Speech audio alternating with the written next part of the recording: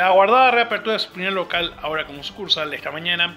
coincide con el 40 aniversario de la tradicional marca de vestuarios femeninos y masculinos Waldring, que se convirtió en tendencia en las décadas de 1980 y 1990, que tuvo un pequeño declive para reestructurar la empresa y en años recientes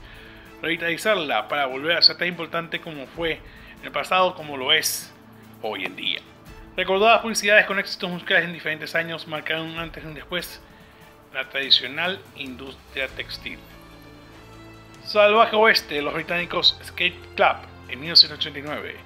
El ritmo te de Gloria Estefan y Enrique García para Mañana Sound Machine de 1987 para la campaña Arena Dorada, pasando por Experiencia Religiosa del madrileño Enrique Iglesias en 1996 para la campaña Fashion Jeans, Píntame del puertorriqueño Elvis Crespo en el año 2000,